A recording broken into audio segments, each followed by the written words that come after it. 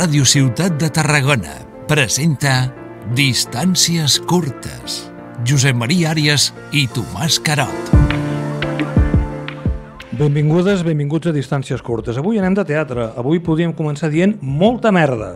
Aquesta expressió ve donada perquè antigament, si no ho sabíem, la gent anava al teatre en cotxes de cavalls. Els aparcaven a la porta perquè baixessin els ocupants i els animals aprofitaven l'ocasió per fer les seves necessitats. Per tant, quanta més merda hi havia a la porta del teatre, volia dir que més gent havia anat a veure l'obra.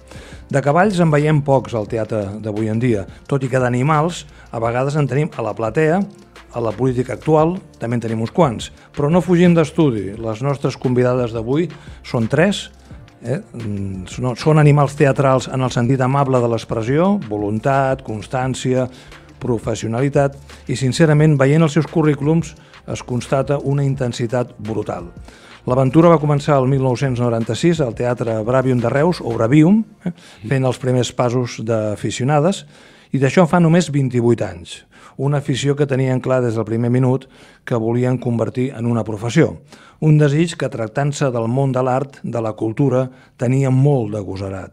És el que tenen les vocacions, i el grup de les artistes locals neix el 2006. Alba Luja, Georgina Llaurador, Irene Benavent, actrius, creadores, alguna ballarina, coreògraf, cantant, dobladora, teatre de text, teatre musical, monòlegs, audiovisuals, han estat actrius convidades a Polònia i Cracòvia, per exemple, música, disc, videoclips, curtmetratges i també formació. Com veieu, 28 anys molt ben aprofitats. Alba, Georgina, Irene, benvingudes a Distàncies Curtes. Moltes gràcies, Josep Moltes Maria. gràcies. Gràcies a vosaltres per, per acceptar aquesta, aquesta invitació. Eh? Dèiem en aquesta introducció que vau començar el 96, el Bravium, o el Bravium, no sé com és la manera més correcta de dir-ho, on vau impulsar juntament amb altra gent unes particulars distàncies curtes, una manera de fer, el cafè teatre, els divendres, es deia varietats golfes. És en aquestes distàncies curtes també on xaleu més? Sí, totalment sí. Um, nosaltres, uh, de fet, tot ha vingut donat pel fer, no? O sigui, som persones de que ens agrada mm, fer coses, una persona té, té una idea i, i diem, endavant, tenim aquesta empenta. I les distàncies curtes, uh, sempre diem que al lavabo del Bravium Teatre uh, allí van sortir moltes idees, allí va, van començar les artistes locals amb una distància molt curta. En tot cas, la, les distàncies curtes que malauradament no abunden a vegades en les relacions interpersonals, a les relacions entre les comunitats, a les relacions entre els països, i abans de començar dèiem que gràcies a la tecnologia és possible realment donar sentit a distàncies curtes. Jo no sé, Georgina i Alba, com, com, com us sentiu més còmodes? Si amb un teatre amb 2.000 espectadors o amb un petit format, jo he de dir que cada vegada mmm, disfruto molt eh, tenint el públic molt a prop i notant-lo i és quan mm, creix tot molt més.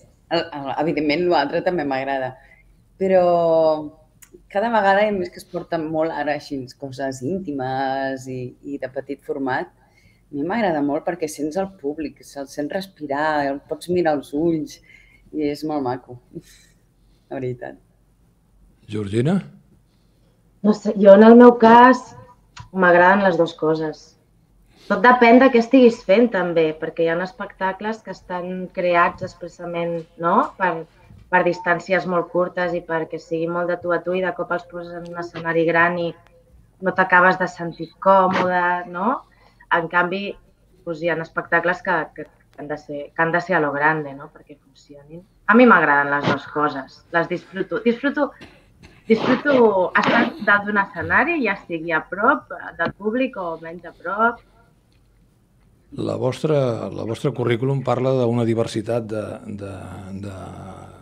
d'elements de, de, de culturals que jo no sé si té a veure amb la varietat de, de, de preferències o amb la necessitat d'haver-te de guanyar la vida quan optes per treballar d'allò que t'agrada realment, no? No sé si aquest, aquesta forma polifacètica ha estat buscada, ha estat una eina de supervivència... Jo crec que les dues coses. per un costat sí, hi ha una necessitat de, de lluitar i de, i de voler mm, buscar-nos la vida amb això i, i això fa que, que que coneguem també la professió des de diferents angles, però també, com ens denominem moltes vegades agitadores culturals, ens agrada agitar des de diferents bandes, no, no només des de dalt de l'escenari, ens agrada també estar a darrere, o sigui, de fet ara estàvem amb les mostres i, i l'altre dia estàvem fent la taquilla, la presentació, assajant amb els alumnes, uh, ara vas al lavabo a veure com està, vull dir que una mica tots els llocs i això fa, ens fa tenir una perspectiva molt àmplia del que és la professió.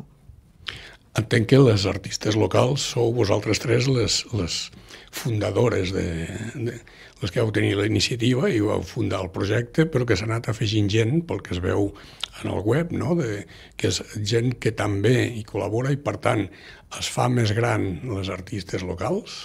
Sí, um, sí. Bueno, de començar, érem quatre.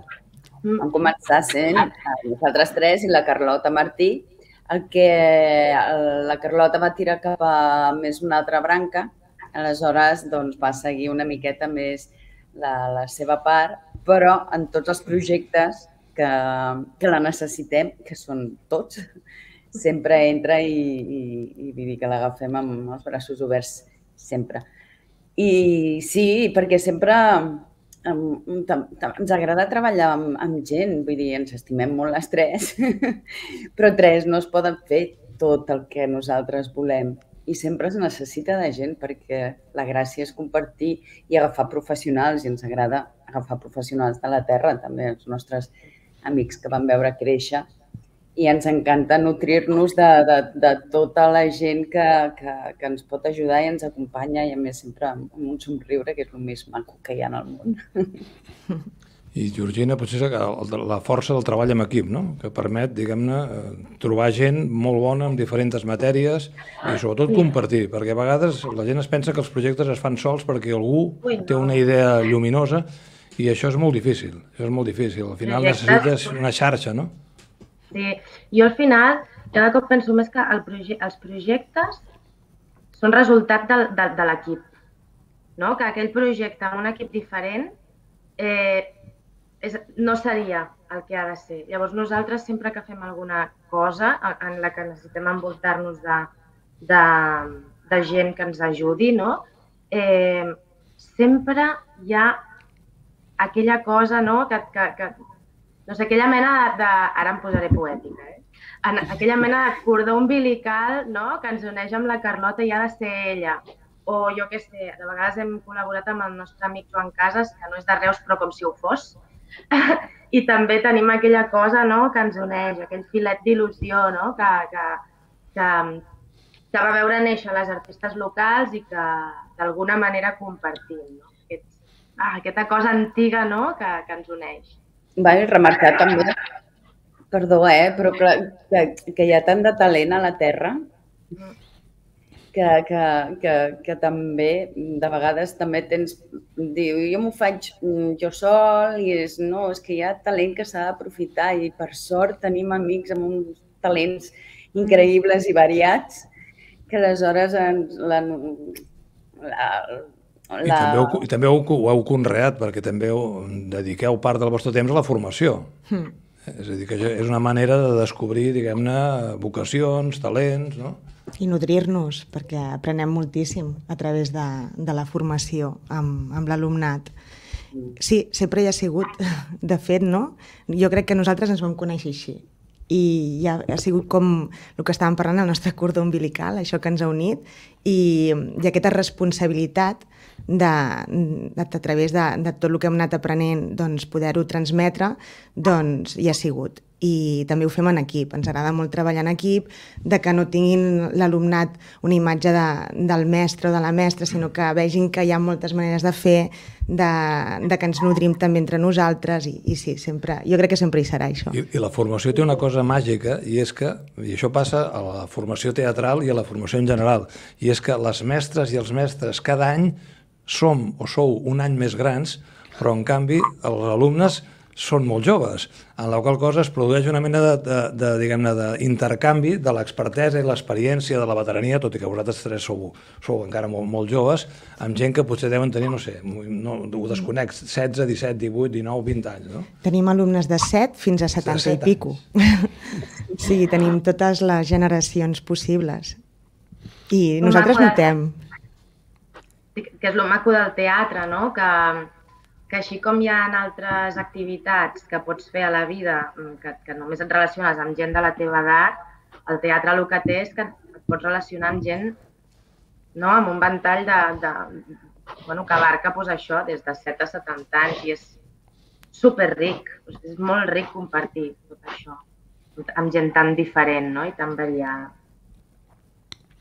Les artistes locals eh, sou una marca o és l'empresa, o les dues coses? És a dir, eh, treballeu per a les artistes locals com a empresa i viviu d'això o cadascú fa eh, el que pot a la seva vida i a més a més feu coses conjuntament. Vull dir, perquè una mica és un projecte que pot ser interessant de conèixer, no? de com evoluciona i com podeu arribar a viure del que us agrada. Jo crec que cadascuna té la seva marca, no?, una mica, eh, o sigui, Alba Luja, Georgina Llaurador, Irene Benavent, i després tenim les sinergies que fem amb altres professionals a través d'altres inquietuds, um, i després hi ha les artistes locals, no?, que som a través de, de nosaltres, o sigui, aquí a vegades, no?, és intentar entendre, doncs, on, on està la marca d'un costat i on està l'altre, uh, i és el nostre projecte col·laboratiu, no? les artistes locals, i, i no sé, és que és molt inconscient tot el que fem, no? Sí, sí de fet, en aquestes preguntes a mi m'estan com... m'estan fent pensar molt, perquè, clar, jo crec que les artistes és el que passa quan s'ajunten l'Alba, la Irene i la Georgina. I això no passaria si s'ajunt, no? si s'ajuntessin unes altres persones. Això som nosaltres i, i és el que passa quan sumem les nostres forces. No, no, no sé, no, no m'havia plantejat jo... Gràcies. A- a- Abans, a micròfon tancat, li, com- li comentava a l'Irene que en els primers programes de distàncies curtes vam tenir l'Oriol Grau, eh, un, un conegut, un actor, director i home de cultura conegut, que ell va fer un camí invers, no? Ell va néixer a Barcelona i es va acabar fincant a Tarragona. Vosaltres eh, heu, heu nascut a Reus, però mm, les tres en algun moment heu estat visquent a Barcelona. Aquest, aquest equilibri difícil entre el talent cultural que abans apuntaves tu, Alba, que és evident que existeix el talent cultural i el reconeixement i sobretot la traslació a activitat professional. Perquè clar, tenir talent i gastar-te a casa mirant les musaranyes no, no és, no és l'objectiu. No? Què s'hauria de fer si és, que, si és que es pot fer alguna cosa per aconseguir fer emergir aquest, aquest talent i que aquest talent tingui recorregut, un reconegut, diguem un recorregut, diguem-ne, sense límits geogràfics.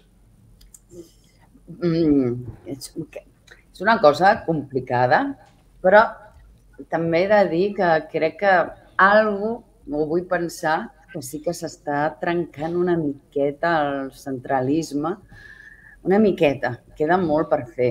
Però sí que moltes vegades ens hem trobat que per, per ser de, o sigui, terra del lloc, perquè de Reus eh, no deixàvem de ser de Reus. Bueno, les nenes que fan teatre anaves a Barcelona i és ja, però tu tampoc no ets de la capital, saps?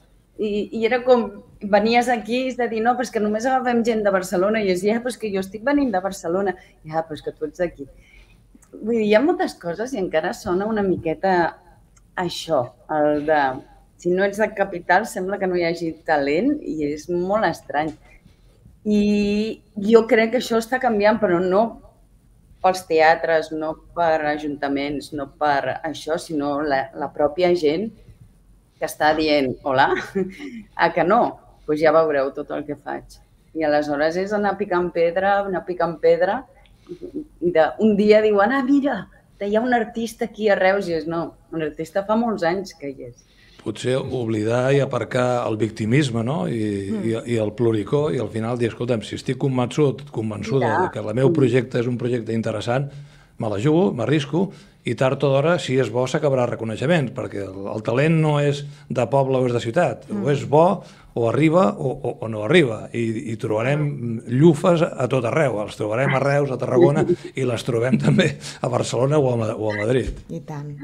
I tant, i tant. No, se té aquesta idea, però no, no és real gens. I costa trencar. esquemes.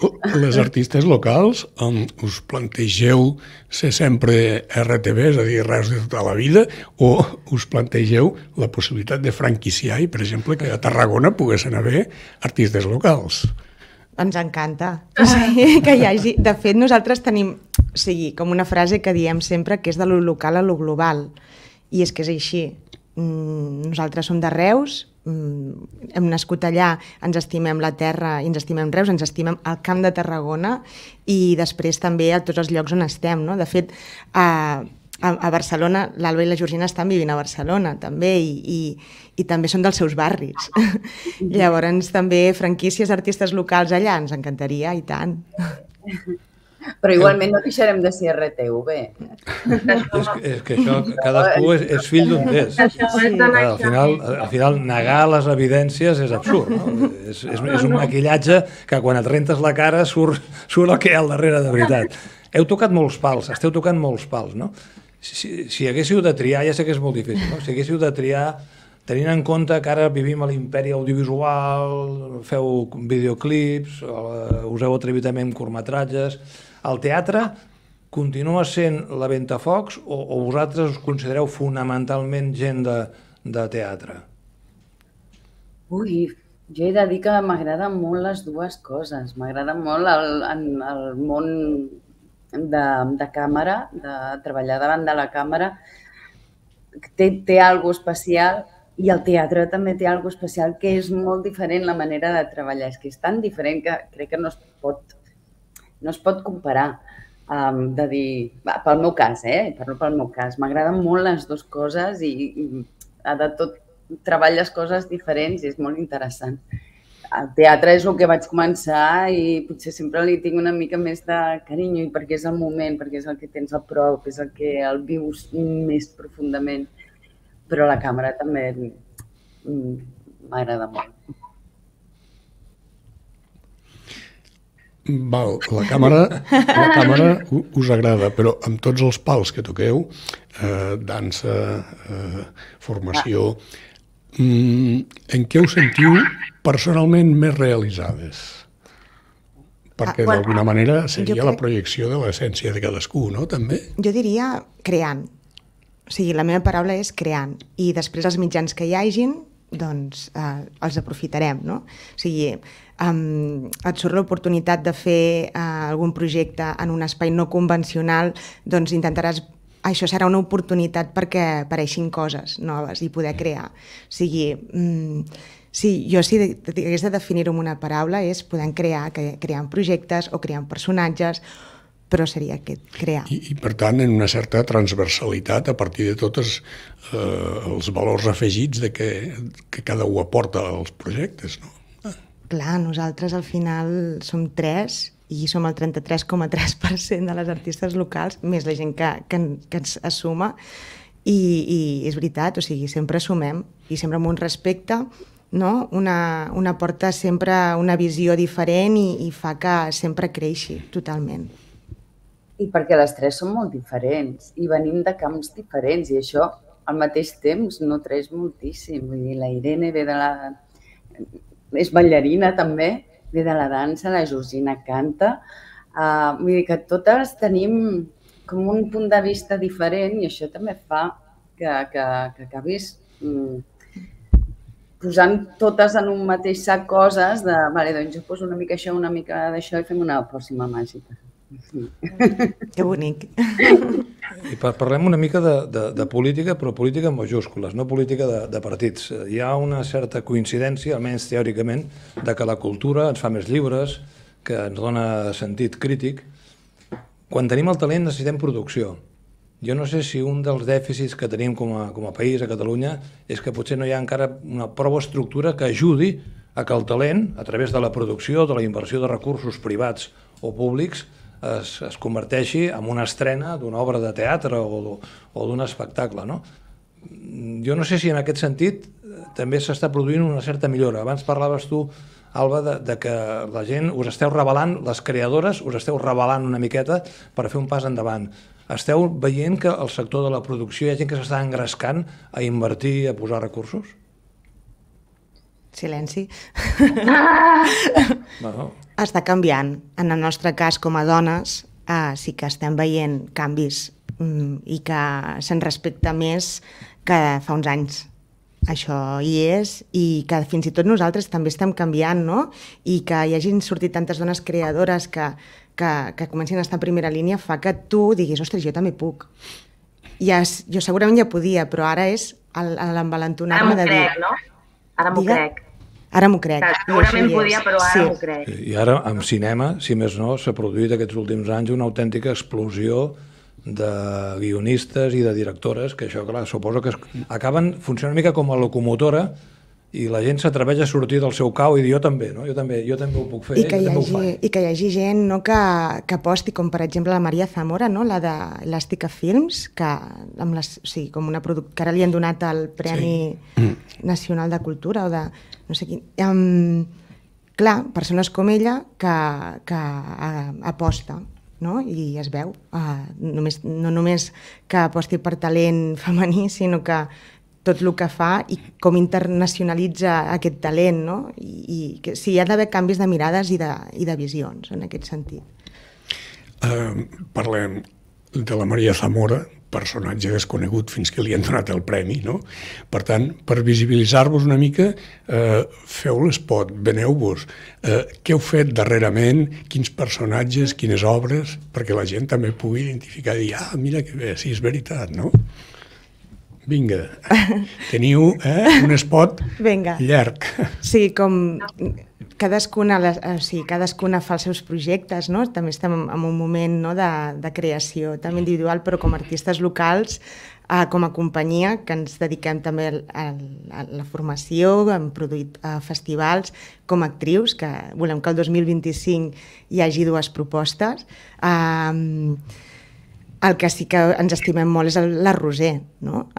L'espectacle de la Roser, que mm, va ser una cosa que va néixer molt humilment i s'ha convertit en, en, en un espectacle que, que hi creiem amb tot de gent que ens ha rodejat del territori amb molt de talent i que a més hem crescut junts perquè hi havia la Xènia Besora que, que jo la coneixo des de l'institut no? i és una persona que ha fet que ha treballat increïblement, el Gerard Marçal, o sigui, l'Albert Galzerà, que era d'aquests amb els que vam començar el Brevium Teatre el 96, o sigui, l'Ivan Beltran com a direcció, l'Anna Pet, o sigui, tota la gent amb la que, en la que ens, en, ens, ens... Jo crec que la Roser ens identifica molt per això, per aquest treball en equip que, que hem fet i hem fet una, un projecte que és bonic i en el que creiem, no? I al final també parlem d'un personatge de ficció de Reus, Home, és un- una obra molt, molt maca i que tenim moltes ganes que també rodi una miqueta i surti de Reus, perquè és una història, una història de Catalunya.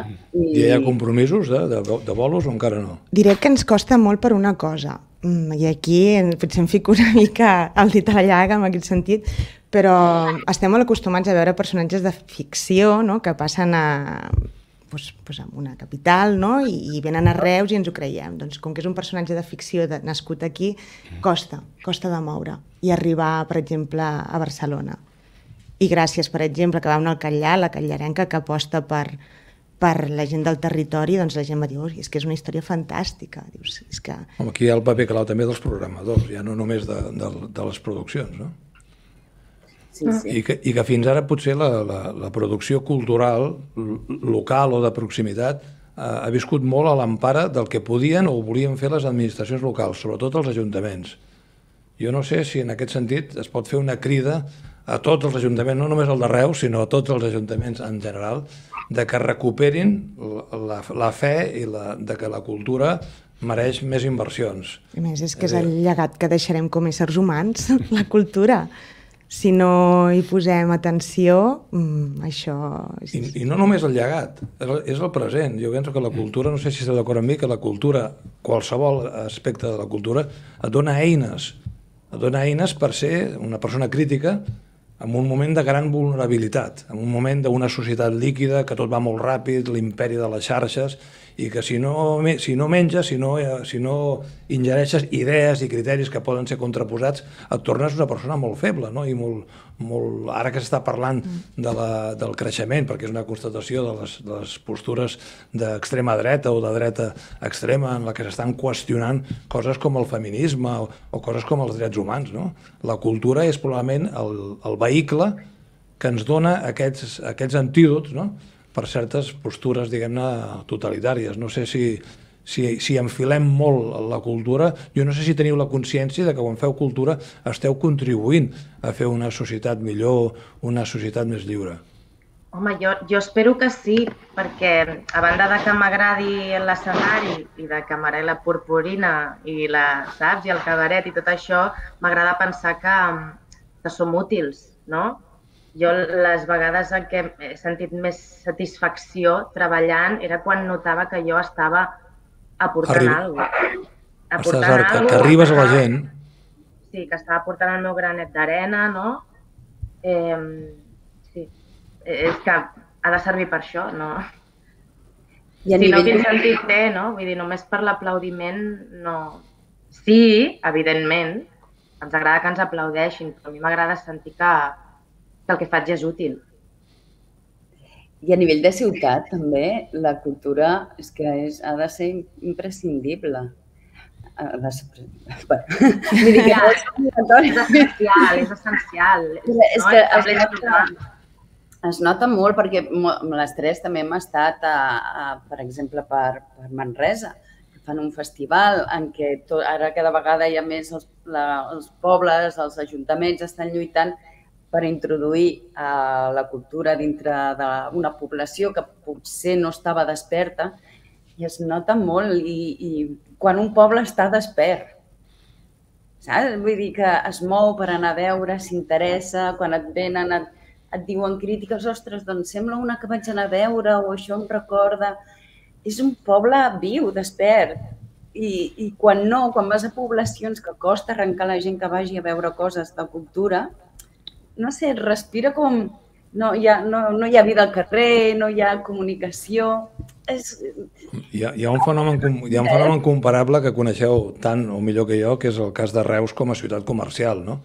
que sempre ha viscut amb molta, molt de temor la proliferació de les franquícies, i no dic que la cultura que vingui de, de, de fora sigui una franquícia, però sí que és veritat que a vegades ha tapat la iniciativa local que té un caràcter determinat. Mm. És a dir, hi ha unes tradicions pròpies, hi ha una història pròpia, que és una mena de llavor a partir de la qual construir, diguem-ne, contingut cultural, no? I els botiguers de Reus es queixen i jo sempre els he dit el mateix, és el que has de fer és moure't.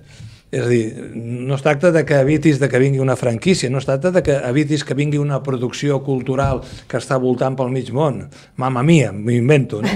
Sinó de que tu facis un pas endavant i et busquis el teu lloc, el teu espai, que potser comença sent petit, però que a poc a poc és com els romans feien, com trencaven les roques, eh? buscaven una esquerda, posaven una falca de fusta, la dilataven i, i s'obria la roca, i era, i era una, un esforç petit, no?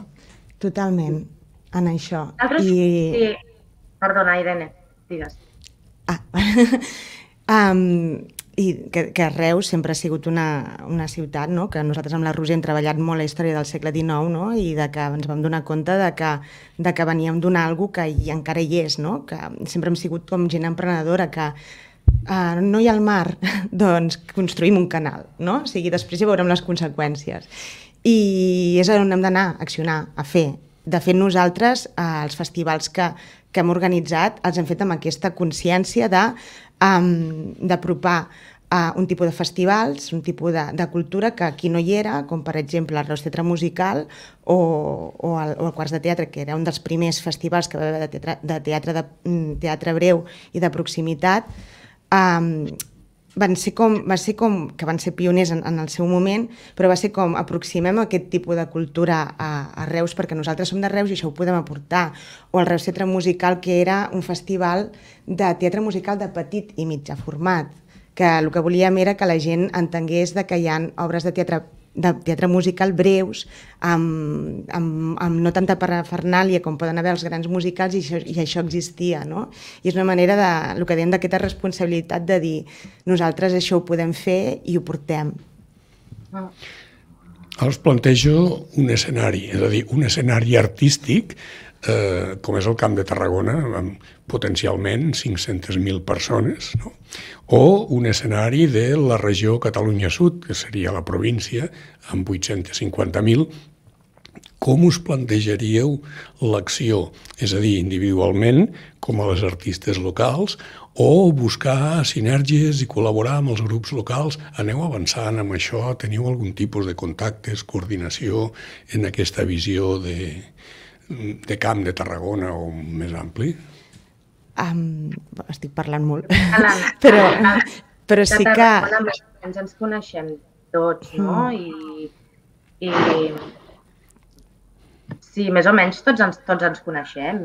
Et refereixes amb això? A de, de, Sí, però en el sentit de- Que les coneixences són una cosa, De fer part, coses de col·laboració, de buscar De projectes en comú. Sinergies, sinergies sempre. Sí. I, després, I després també, uh, mira, ara vam estar la setmana passada treballant al Convent de les Arts, que creiem que és un espai meravellós. Uh -huh. I un espai que la gent de fora el coneix i diu, però què és això? Això és una meravella. Un espai de, que no n'hi ha de, aquí, per exemple, amb el passat industrial que hem tingut, a edificis que es podrien convertir en, com en poblacions, en fàbriques de creació, no? Això, Donar-li... dir aquí això no a. Tarragona és parlar de la tabacalera, És eh? veritat, és veritat.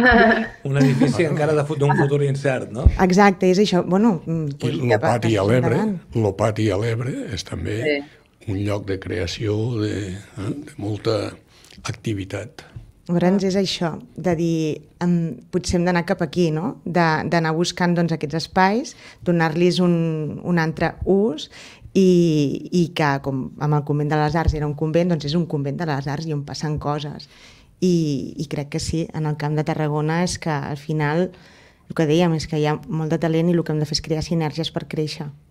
I us heu plantejat fer algun projecte conjunt amb algun grup o alguna... Perquè Vilaseca té molta tradició teatral, també, Tarragona, hi ha mm. grups, no sé... Tenim coses al cap, tenim coses al cap. La veritat és que sí, n'hem parlat. El que passa és que és tan complicat les, les nostres agendes, o sigui, ja veieu aquesta, aquesta entrevista com l'hem hagut Lo de d'avui és un exemple clar.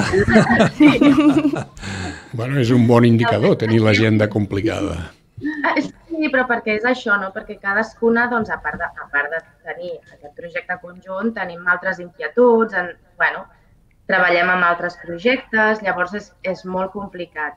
Mira, una cosa et diré, per nosaltres, quan hi va haver el, el, el lockdown, em surt en, en anglès, Covid. el confinament, quan hi va haver el confinament, per nosaltres no va ser un problema mm, a- això que estem fent ara, perquè ja feia molt de temps, molts anys que ho fem. Això com a incís, com a parèntesi. Però sí, ens, ens ho hem plantejat. Tornant a la pregunta, ens ho hem plantejat, treballar.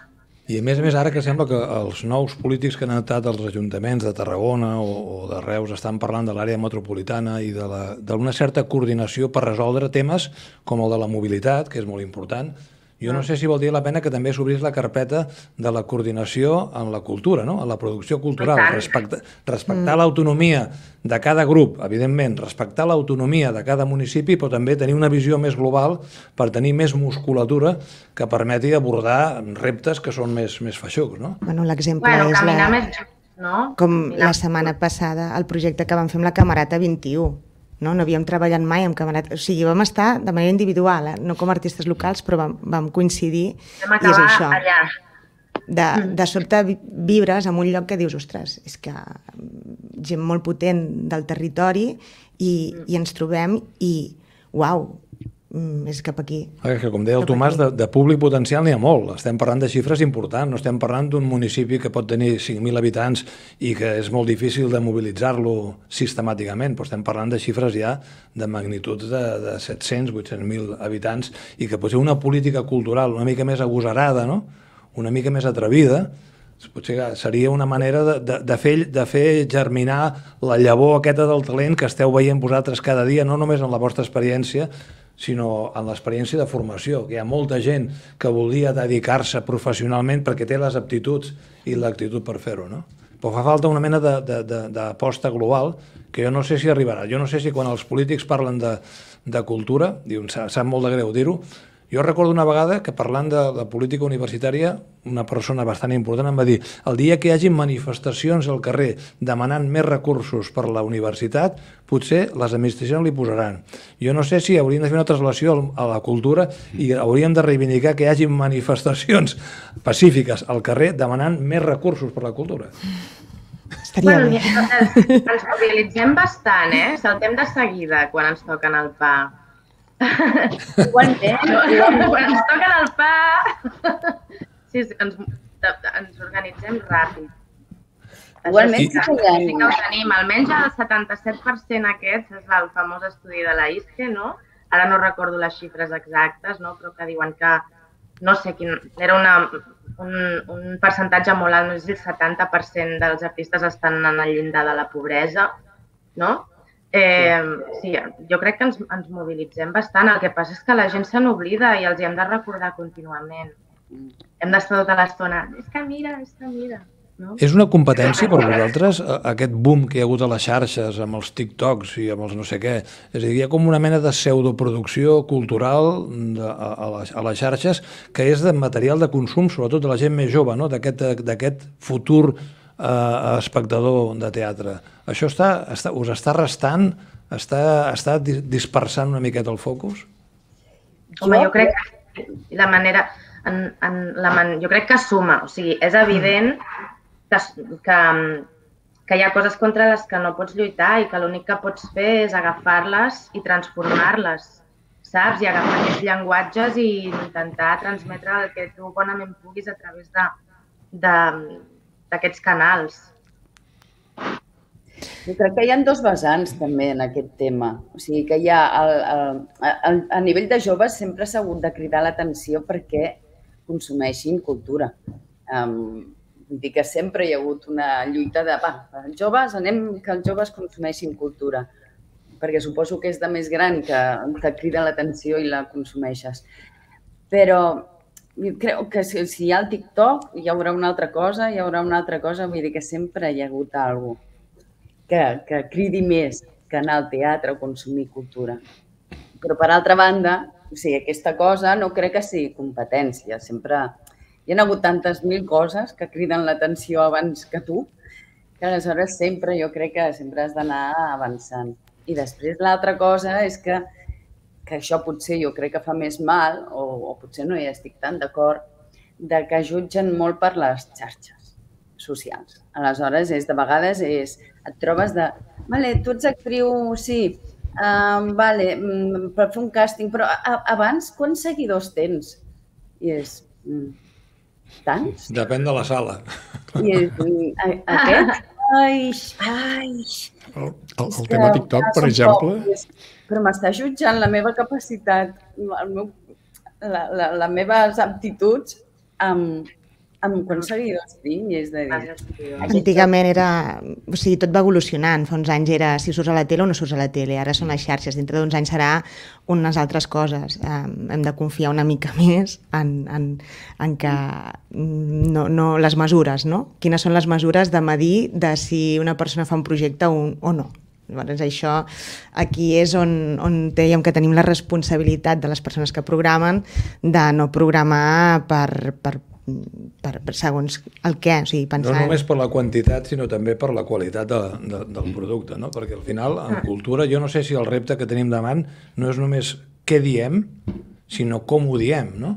Jo suposo que vosaltres us hi trobeu en, en, en la formació, no? Que és important trobar la matèria, la història, però després hi ha un, tot un repte d'innovació, de transformació, d'adaptar-te als nous usos de les, de les noves generacions, de com expliques la història. No? Mm, clar, les, els instruments hi són. O sigui, antigament doncs, uh, no hi havia xarxes socials, no hi havia televisió, no hi havia, ràdio. La, hi havia la, la, la merda dels cavalls a la, a la porta A la del porta. teatre per avaluar si la cosa tenia futur o no. Clar, potser és això, venim d'això, no? De, de seguim avaluant doncs, segons la merda de les, de, dels cavalls davant de la porta del teatre, en aquest cas són, són likes, no?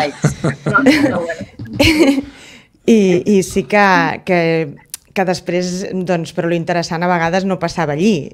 Llavors és com que el que, el que s'ha d'insistir és amb el tema de, de la responsabilitat de qui programa, d'entendre que hi ha uns valors, que hi ha unes coses que s'han de tenir clares i, i què és el que es transmet, no?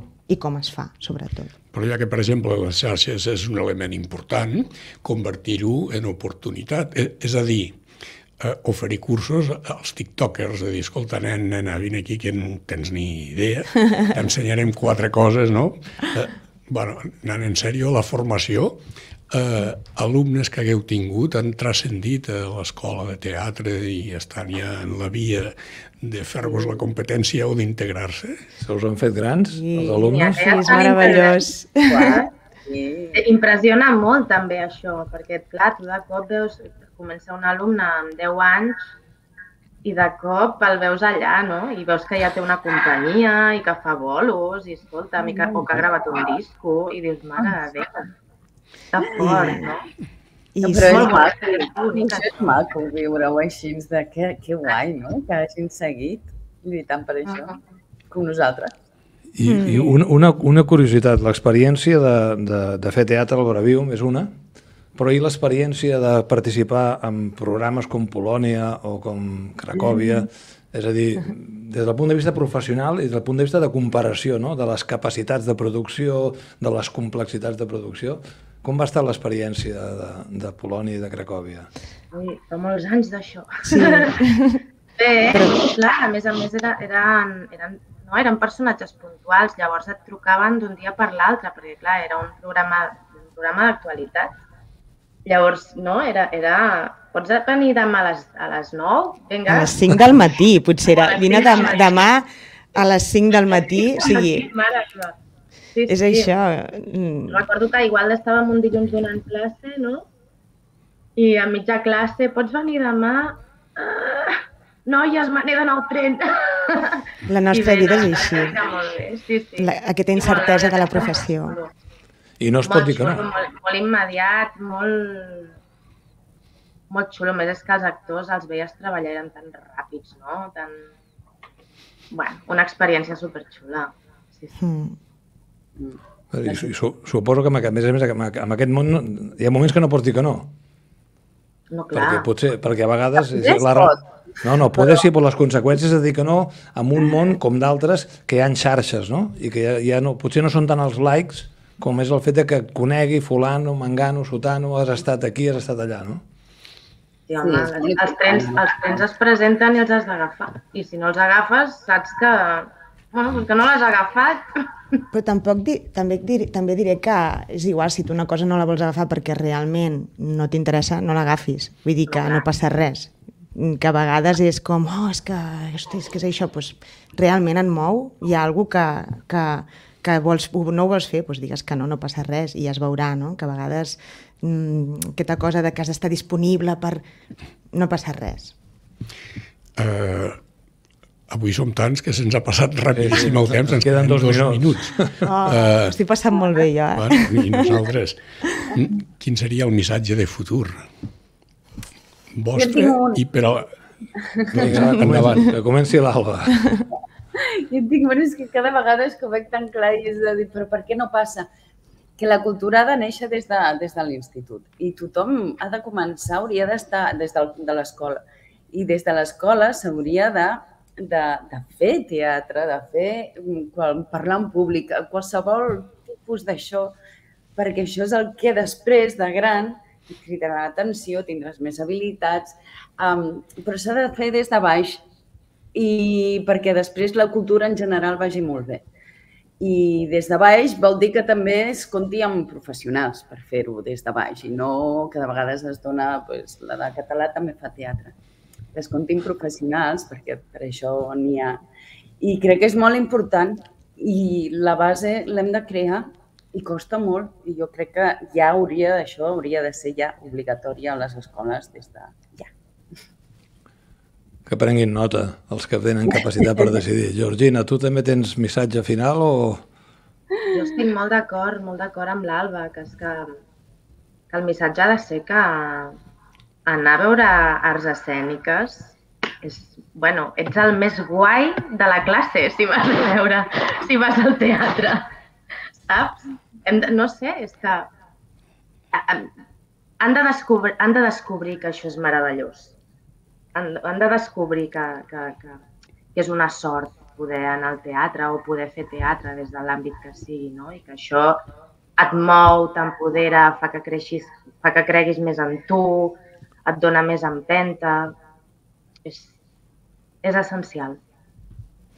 Molt bé. I el meu missatge seria que tothom té moltes coses a dir i que s'han de donar espais perquè aquestes persones les puguin dur a terme i que no s'ha de tenir por, um, que tot evoluciona i que, i que qualsevol cosa és motiu de creació i pensem de que, de que el que dèiem abans, que el que deixem és el que deixarem a les següents generacions, confiem i seguim la lluita endavant. I el nostre missatge és que la cultura ens farà més millors, més lliures i molta merda. Georgina, Irene, Alba, moltíssimes gràcies per a compartir aquesta estona a distàncies curtes. Sort. Gràcies a vosaltres.